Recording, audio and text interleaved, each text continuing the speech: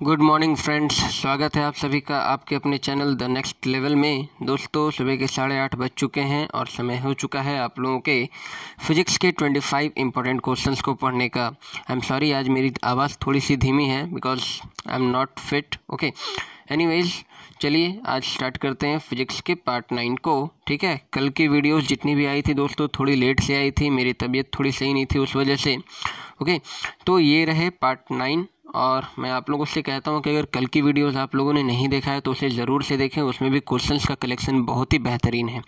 कुछ बच्चों का कहना था कि, सर क्वेश्चन का लेवल थोड़ा बढ़ाइए। ओके आज से जो क्वेश्चंस का लेवल होंगे दोस्तों, वो हाई लेवल के क्वेश्चंस होंगे। तो आप कह सकते हैं कि पार्ट नाइन में मैंने टफ क्वेश्चन का कलेक्शन किया है, ठीक है?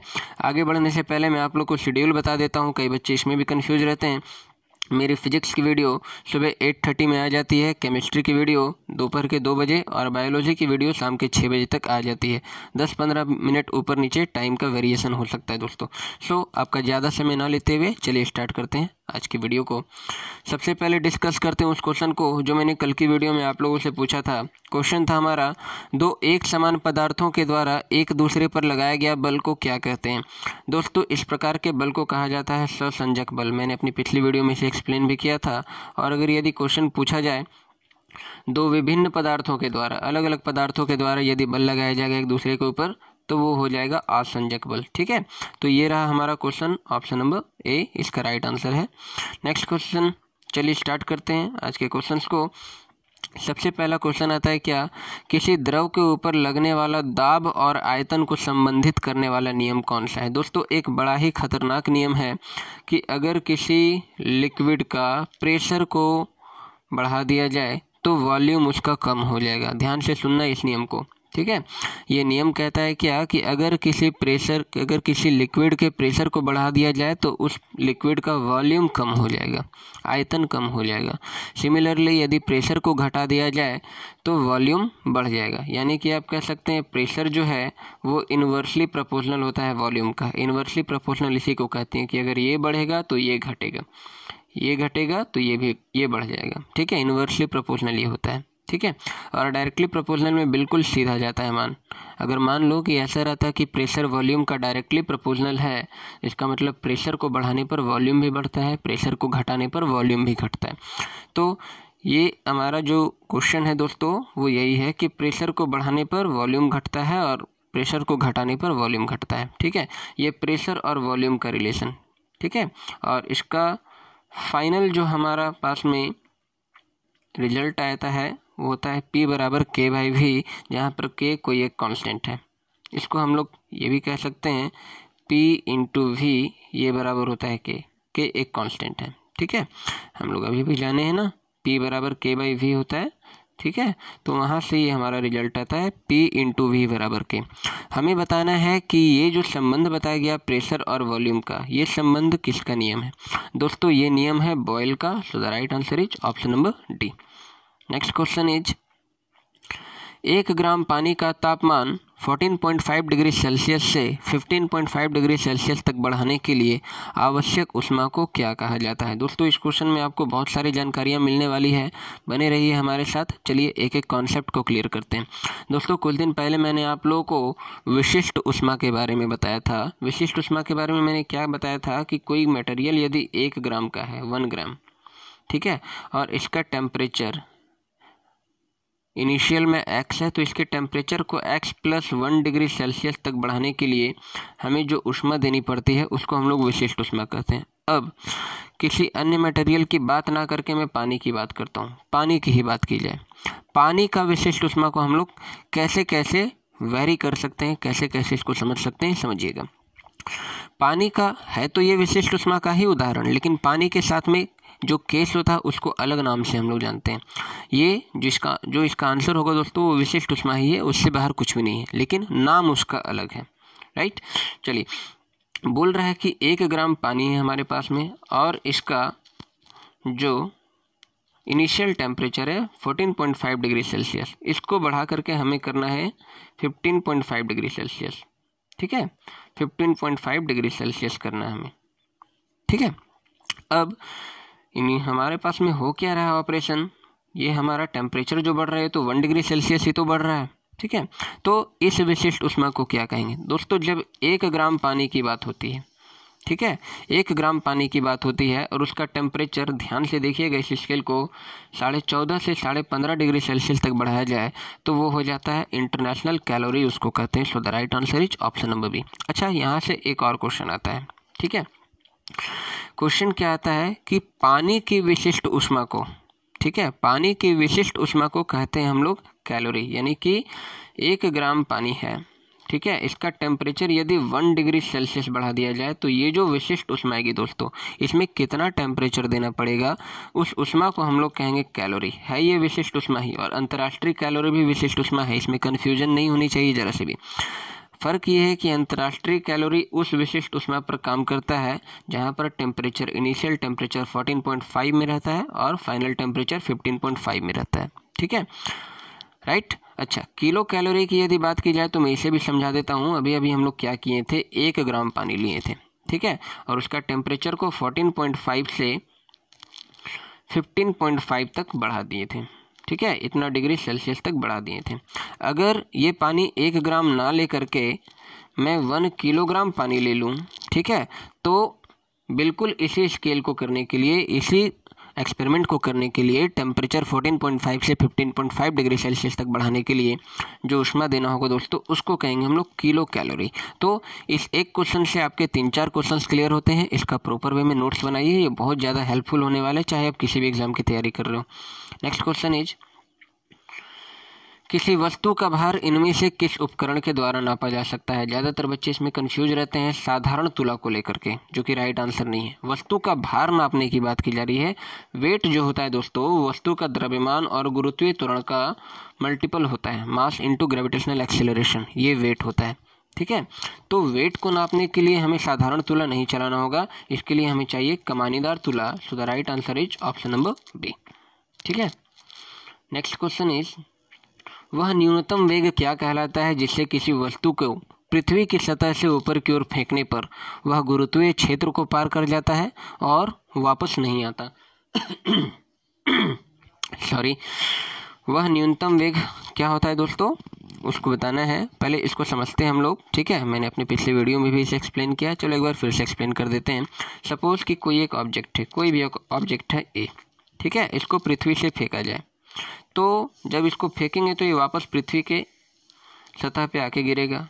ये होता है गुरुत्वाकर्षण की वजह से ग्रेविटेशन की वजह से। इतना तो आप लोग जानते हैं।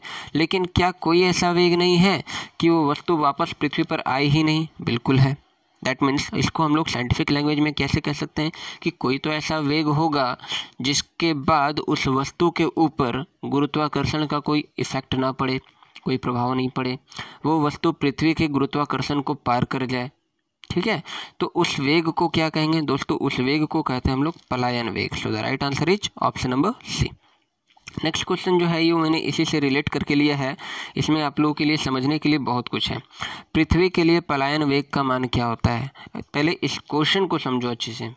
पृथ्वी के लिए पलायन वेग का मान क्या होता है? इसका मतलब क्या है? पृथ्वी को अगर पृथ्वी से बाहर फेंका जाए तो? जी नहीं। अगर पृथ्वी से किसी ऑब्जेक्ट को बाहर फेंका जाए तो? उस ऑब्जेक्ट में कितना वेग हम लोग देंगे कि वो पलायन वेग का मान दे दे, यानी गुरुत्वाकर्षण क्षेत्र में वापस नहीं आए। समझ रहे हो मेरी बात को? यदि समझ में आ रहा है तो कमेंट बॉक्स में प्लीज़ ज़रूर कहना कि हाँ सर समझ में आ रहा है, ठीक है? ऐसे कमेंट्स मैं देखता हूँ, अंदर से इच्छा करता है दोस्तों कि आप लोगों के लिए और भी मेहनत करूँ, ठीक है? मैंने क्या कहा कि पृथ्वी के लिए पलायन वेग, यानी पृथ्वी से यदि किसी ऑब्जेक्ट को फेंका जाए तो कितना वेग उस ऑब्जेक्ट का होना चाहिए कि वो पृथ्वी के गुरुत्वाकर्षण को पार कर जाए? ठीक है? उस वेग का मान है दोस्तों 11.2 किलोमीटर प्रति सेकंड, यानी एक सेकंड में उस वस्तु को इतना किलोमीटर ट्रेवल करना होगा। ठीक है? तब वो पृथ्वी का गुरुत्वाकर्षण को पार कर जाएगा। राइट नेक्स्ट क्वेश्चन सॉरी इसमें जो अगला एग्ज़ाम्पल अगला ऑप्शन मुझे नज़र आ रहा है 2.37 किलोमीटर प्रति सेकंड ये चंद्रमा का पलायन वेग है। बिल्कुल वही कॉन्सेप्ट है। चंद्रमा से किसी वस्तु को यदि इस वेग से फेंका जाए, यानी एक सेकंड में 2.37 किलोमीटर वो वस्तु ट्रेवल करता है तो वह चंद्रमा का गुरुत्वाकर्षण पार कर जाएगा। चंद्रमा के गुरुत्वाकर्षण पर उस वस्तु का कोई प्रभाव नहीं पड़ेगा। और ये जो 4.6 किलोमीटर प्रति सेकंड नज़र आ रहा है, ये मंगल ग्रह का पलायन वेग है दोस्तों। I hope you are getting my points चलिए आगे बढ़ते हैं। किसी केस नली में द्रव का चढ़ाव, उसकी त्रिज्या के व्युत क्रमानुपाती होता है, यह कौन सा नियम है? दोस्तों केस नली क्या होता है? पहले समझो। मान लो कि आपके पास में कोई भी एक ट्यूब है, किसी भी प्रकार का। चलो एक कटोरा ही मान लेते हैं। ठीक है? ये अर्ध गोलाकार कटोरा है। इसमें कोई भी एक लिक्विड है दोस्तों। ठीक है? और इस पर मैंने किया क्या? मैग्नीशियम का एक फीता लगा दिया। ठीक है? और इसे मैंने हीट दे दिया, इसे मैंने जला दिया यहाँ से। ठीक है? अब देखो, ये जो अगर मैग्नीशियम का फीता है तो ये जल करके ये जो लिक्विड है, अगर फ्यूल की तरह काम कर रहा है तो इस मैग्नीशियम के फीते से होते हुए ऊपर चढ़ेगा, तभी ये जलता रहेगा। जो दिया जलता है, लालटेन जलता है, मोमबत्ती जलता है, मैंने कई बार इसका एग्ज़ाम्पल दिया, ये एक प्रकार के केशिकत्व का ही उदाहरण होता है। तो केस नली कहते हैं दोस्तों, जिसमें वो लिक्विड भरा रहता है, जिसमें वो फ्यूल की तरह लिक्विड भरा रहता है, ठीक है? तो ये क्वेश्चन हमारा क्या है दोस्तों, कि किसी केस नली में द्रव का चढ़ाव उसकी त्रिज्या के व्युत क्रमानुपाती होता है, यह कौन सा नियम है? ये जो हमारा केस नली था दोस्तों, जिसमें लिक्विड भरा हुआ था, इसमें जो द्रव का चढ़ाई होगा, ये व्युत क्रमानुपाती होगा इसकी त्रिज्या के। ठीक है? व्युत क्रमानुपाती यानी इनवर्सली प्रोपोर्शनल यानी द्रव जितना ज़्यादा चढ़ेगा सॉरी त्रिज्या जितना कम होगा, द्रव उतना ज़्यादा चढ़ेगा। त्रिज्या जितना ज़्यादा होगा, द्रव उतना कम चढ़ेगा। उतना कम तेज़ी से चढ़ेगा, ठीक है? तो ये कौन सा नियम है दोस्तों? ये नियम है जूरीन का नियम so the right answer is option number D इसको याद रखेंगे इस क्वेश्चन का पीसीएस एग्ज़ाम्स में बहुत ज़्यादा रिपीटेशन हुआ है। किसी सामान्य शुष्क सेल में विद्युत अपघाट्य पदार्थ कौन सा होता है? सामान्य शुष्क सेल की बात हो रही है तो सामान्य शुष्क सेल में जो विद्युत अपघाट्य पदार्थ होता है दोस्तों, वो होता है N H three C L या इसको आप लोग कह सकते हैं ammonium chloride so the right answer is option number A अगला प्रश्न की तरफ़ हम लोग बढ़ते हैं। किसी उच्च तरंग दैर्घ्य के प्रकाश के द्वारा किसी धातु का उत्सर्जित इलेक्ट्रॉन क्या कहलाता है? दोस्तों, कल हम लोग जान चुके हैं, डॉक्टर आइंस्टीन ने ये खोज करी थी प्रकाश का विद्युत प्रभाव या प्रकाश विद्युत प्रभाव। ठीक है, उसमें क्या किए थे हम लोग कि एक मेटेलिक प्लेट लिए थे और हाई फ्रिक्वेंसी के लाइट के ज़रिए इससे इलेक्ट्रॉन को रिलीज़ करवा रहे थे। ठीक है, ये इफ़ेक्ट कहलाता था क्या दोस्तों? प्रकाश विद्युत प्रभाव। ठीक है? अब हमें बताना है कि ये जो इलेक्ट्रॉन रिलीज़ हो रहा है, ठीक है? ध्यान से सुनने क्वेश्चन को। ये जो इलेक्ट्रॉन रिलीज़ हो रहा है, उत्सर्जित इलेक्ट्रॉन ठीक है? इस इलेक्ट्रॉन को नया नाम दिया गया है। हालाँकि ये इलेक्ट्रॉन ही रहेगा, लेकिन इसके इस गुण की वजह से, प्रकाश के द्वारा उत्सर्जित हो जाने की वजह से इस इलेक्ट्रॉन को नया नाम दिया गया दोस्तों। इस प्रकार के इलेक्ट्रॉन को कहते हैं photo electron so the right answer is option number B अगले प्रश्न की तरफ़ हम लोग मूव करते हैं। यदि कोई गहरी नीली वस्तु को पीले रंग के प्रकाश की उपस्थिति में देखा जाए तो वह वस्तु किस रंग का दिखाई देगा? दोस्तों, गहरी नीली वस्तु को यदि पीले रंग के प्रकाश में देखते हैं तो वह पीला रंग क्या करता है? उस वस्तु के अंदर उपस्थित जितने भी, चाहे बहुत कम भी क्यों ना हो, काले रंग के जितने भी पदार्थ होंगे, जितने भी कलर होंगे ब्लैक कलर का, उसको अवशोषित कर लेगा, बाद बाकी सबको रिफ्लेक्ट कर देगा, इसलिए वह वस्तु हमेशा काला रंग नज़र आएगा। ठीक है? So the right answer is option number B next question is बल के द्वारा किसी वस्तु को उसी के अक्ष में के पारिता घुमाना क्या कहलाता है? इस क्वेश्चन को समझिए। मान लो कि आपके पास में कोई एक ऑब्जेक्ट है। ठीक है? और ये रहा इसका एक्सिस ठीक है? ज़रूरी नहीं कि एक्सिस ऐसा ही हो। तो इसी एक्सिस के ज़रिए अगर इसको हम लोग मूव करवाते हैं इस वस्तु को, ठीक है? मानते हैं इस वस्तु का नाम है ए बी ठीक है? ये ए बी इस वस्तु का नाम हो गया दोस्तों। अब इस एक्सिस को यदि हम लोग मूव करवाते हैं किसी भी डायरेक्शन में, ठीक है? इस डायरेक्शन में मान लो मूव करवाते हैं तो ये एक्स ये वस्तु कैसे मूव करेगा दोस्तों? इस तरह से। और ये पार्ट इस तरह से। तो इस तरह से जो घुमाते हैं हम लोग किसी वस्तु को, उस बल को सॉरी इस तरह, इस प्रक्रिया को क्या कहा जाता है दोस्तों? इस प्रक्रिया को कहते हैं बल आघूर्ण, ठीक है? जो हम लोग घिरनियाँ घुमाते हैं ठीक है? ये बल आघूर्ण का ही एक एग्ज़ाम्पल होता है दोस्तों, ठीक है? या आप ऐसा करो कि किसी धागे में कोई पत्थर बांधो, ठीक है? और अपनी उंगली में उस धागे का दूसरा छुर रखो और उसको घुमाओ। वो बल आघूर्ण का एक एग्ज़ाम्पल है, वो भी, ठीक है? नेक्स्ट क्वेश्चन इज़ दूरस्थ स्थानों पर विद्युत चुंबकीय तरंग भेजने वाले पहले वैज्ञानिक कौन थे? आपके पास में ऑप्शंस हैं। हेनरिक हर्ट्ज मैक्सवेल ओम और माइकल फेराडे। दोस्तों, विद्युत चुंबकीय तरंग भेजने वाले सबसे पहले वैज्ञानिक थे Heinrich Hertz. So the right answer is option number A अगले प्रश्न की तरफ़ मूव करते हैं। किसी वस्तु का या साधारणतया द्रव का एक समान तापक्रम बनाए रखने के लिए किस उपकरण का प्रयोग किया जाता है? समझो पहले क्वेश्चन को अच्छे से। मान लो कि कोई भी एक लिक्विड मटेरियल है, किसी भी ऑब्जेक्ट में भरा हुआ है, किसी भी बर्तन में भरा हुआ है, ठीक है? और इनिशियली इस लिक्विड मटेरियल का टेम्परेचर यदि एक्स डिग्री सेल्सियस है, ठीक है? तो लंबे समय तक इसके समान टेम्परेचर को बनाए रखना है। मान लो चार घंटे के बाद भी आप उसका टेम्परेचर नापते हैं तो वो भी उतना ही नज़र आता है एक्स डिग्री सेल्सियस। तो लंबे समय तक इसका समान ताप, तापक्रम बनाए रखने के लिए हम लोग कुछ यूज़ करते हैं। दोस्तों, क्या यूज़ करते हैं?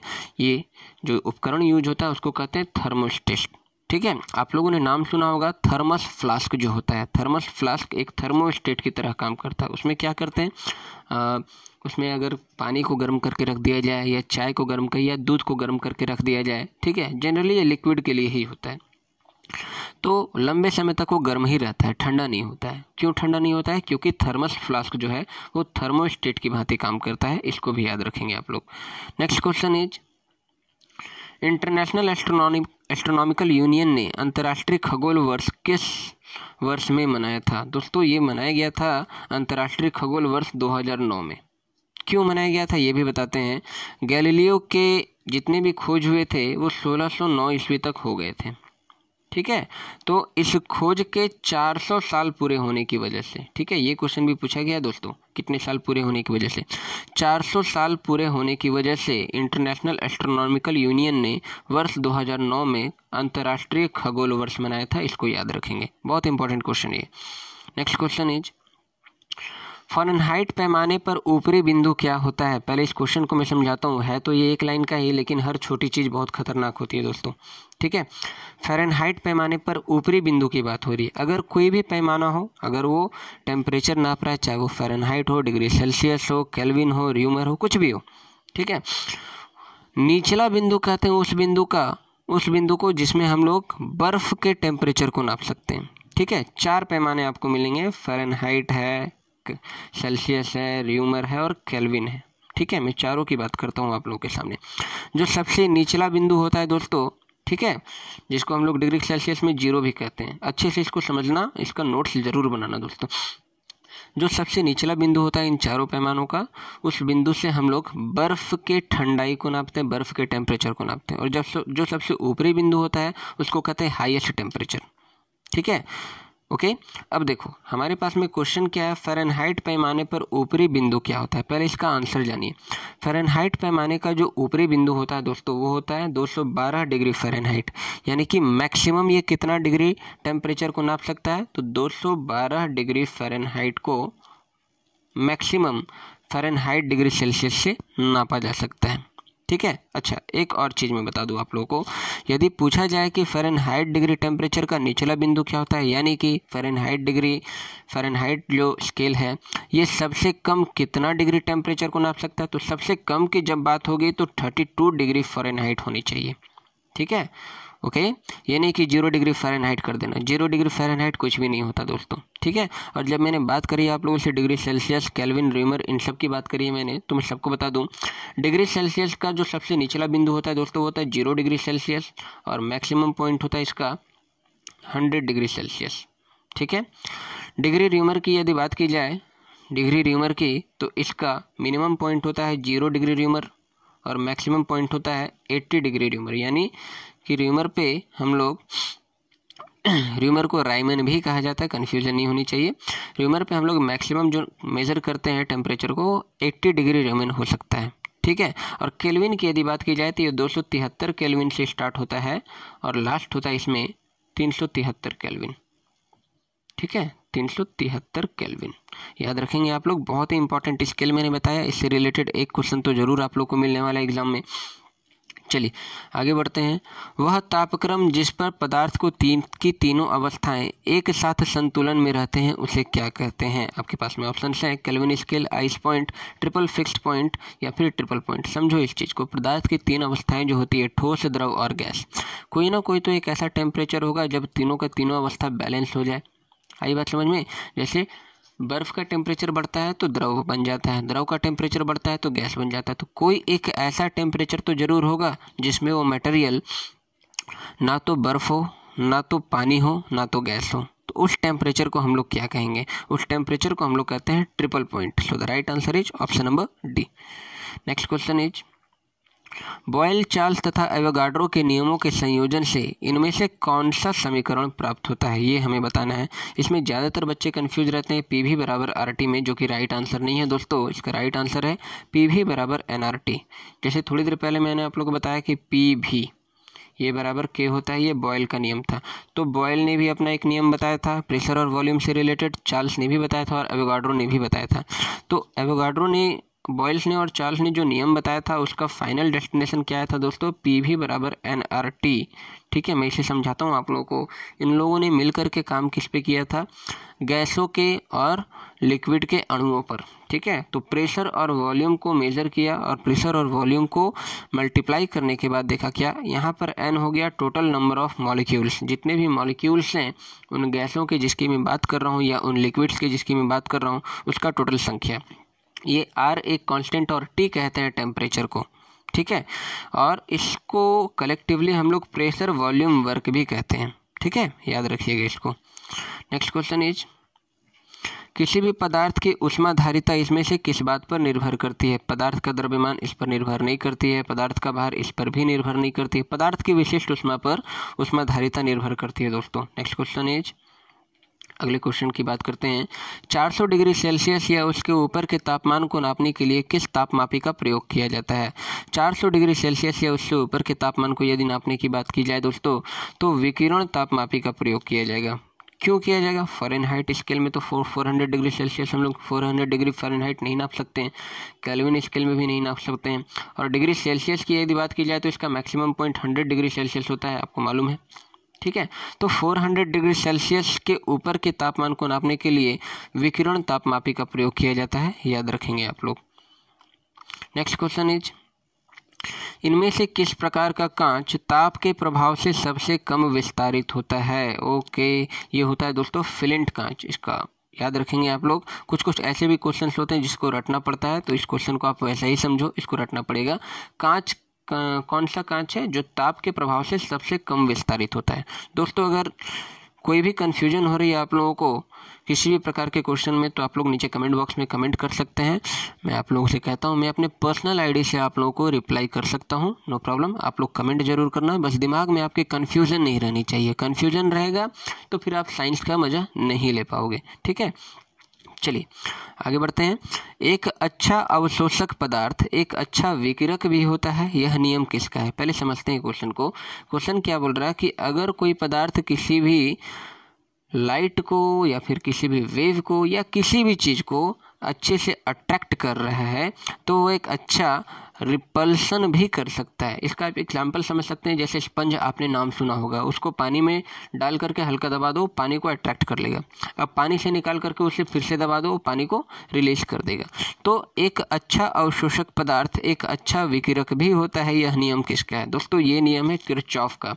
अब ज़रूरी नहीं स्पंज की ही बात करूँ। दुनिया में जितने भी ऐसे मटेरियल हैं, जो अच्छे से एब्जॉर्ब करता है किसी भी चीज़ को, किसी भी चीज़ को लाइट की बात करें कलर की बात करें, कोई भी चीज़ को वो एक अच्छा रिपल्सक भी होता है। उसको हम लोग को बताना है कि ये किसका नियम है? तो ये नियम है दोस्तों, किरचॉफ का। ज़्यादातर बच्चे इसमें कन्फ्यूज़ होते हैं, जूल का नियम, जबकि जूल का नियम ये नहीं है दोस्तों।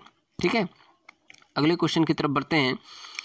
किसी अवतल दर्पण के किस बिंदु पर कोई वस्तु को रखा जाए कि प्रतिबिंब सीधा एवं आभासी बने? दोस्तों, वीडियोस की लेंथ थोड़ी ज़्यादा लंबी हो रही है। इस क्वेश्चन को मैं किसी और दिन अच्छे से एक्सप्लेन आप लोग को करूँगा। आज इसका आंसर जान जाओ। पूरे अवतल दर्पण में मात्र एक ऐसा ही पॉइंट है जिस पर किसी वस्तु को रखें कि प्रतिबिंब सीधा एवं आभासी बनता है। हालाँकि अवतल दर्पण में कभी भी सीधा और आभासी प्रतिबिंब जल्दी नहीं बनता। उल्टा और वास्तविक बनता है अवतल दर्पण में, आप लोग को मालूम होगा। लेकिन एक ऐसा पॉइंट है जिस पर प्रतिबिंब सीधा और आभासी बनता है दोस्तों। उस पॉइंट को कहते हैं फोकस और ध्रुव के बीच। So the right answer is option number D अगले प्रश्न की तरफ़ हम लोग मूव करते हैं। सघन माध्यम से विरल माध्यम में जाने पर यदि अपवर्तन कोण का मान 90 डिग्री है तो उसे क्या कहेंगे? अगर कोई लिक्विड से लाइट ट्रेवल कर रहा है दोस्तों, ठीक है तो ये अपने नॉर्मल से झुक जाता है। तो अगर इसका मान सॉरी अगर इसका मान 90 डिग्री हो जाता है, इस एंगल का मान 90 डिग्री हो जाता है तो इस एंगल को क्या कहेंगे दोस्तों? इस एंगल को हम लोग कहते हैं क्रिटिकल एंगल या हिंदी में कहते हैं इसको क्रांतिक कोण। So the right answer is option number B अच्छा एक और बात। कभी तो ऐसा मोमेंट आएगा जब ये टोटल एंगल जो है, ये टोटल एंगल नाइन्टी डिग्री से अब हो जाए नाइन्टी डिग्री से प्लस हो जाए। तो इसी केस में इसी केस में पूर्ण आंतरिक परावर्तन होता है, दोस्तों, इसको आप लोग याद रखेंगे। अगले प्रश्न अगले प्रश्न की ओर बढ़ते हैं हम लोग।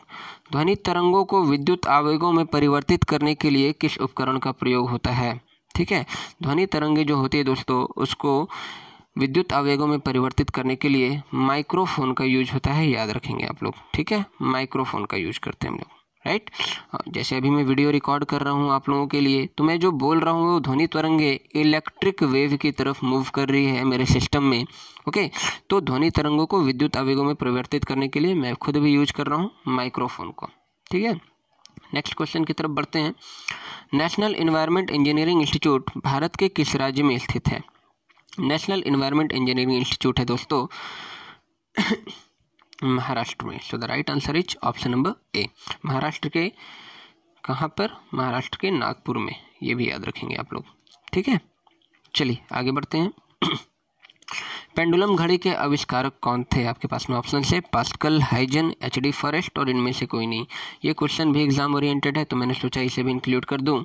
ये इसका राइट आंसर है दोस्तों ऑप्शन नंबर बी हाइजन। तो ये रहे आपके ट्वेंटी फाइव फिजिक्स के क्वेश्चन नाव अब क्वेश्चन ऑफ़ द डे की ओर हम लोग बढ़ते हैं। आज भर के लिए मुझे क्षमा करना दोस्तों, मेरी तबीयत सही नहीं है। चलिए। क्वेश्चन है आप लोगों के लिए, किसी वस्तु के संवेग में परिवर्तन की दर क्या कहलाती है? आपके पास में ऑप्शन से बल, वेग, त्वरण और द्रव्यमान। इसका राइट आंसर क्या है दोस्तों? कमेंट करके बताना मुझे ज़रूर, ठीक है? Okay thank you so much guys all the best